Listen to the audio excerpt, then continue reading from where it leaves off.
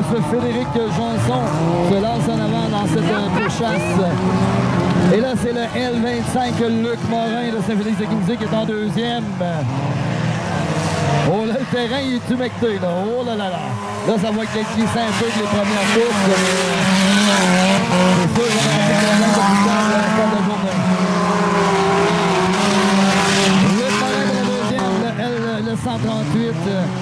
C'est Jimmy Caron-Bernier pour la troisième.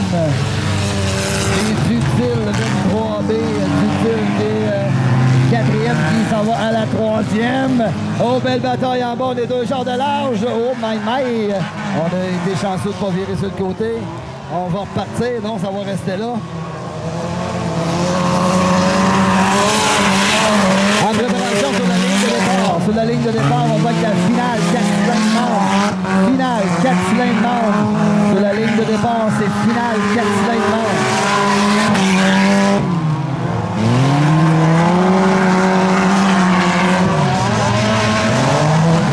Finale 4 cylindres membres sur la ligne de départ. Finale 4 cylindres membres sur la ligne de départ.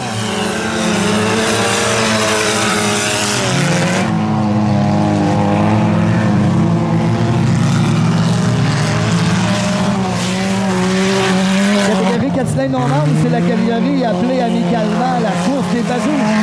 Là, c'est euh, les gens qui euh, se montent des autos pour, euh, pour voir s'ils vont aimer ça. Et après ça, là, ils vont aller vers les classes membres, les classes les plus grosses de cylindrée. Mais là, c'est la classe 4 cylindres non membres, 155 forces et moins.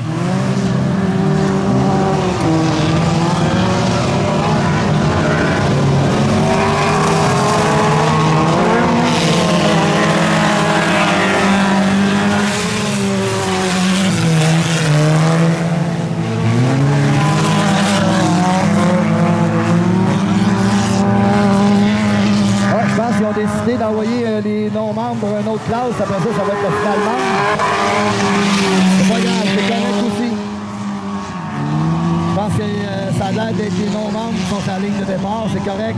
On va faire les membres, final membre après la qualification 2. C'est bon.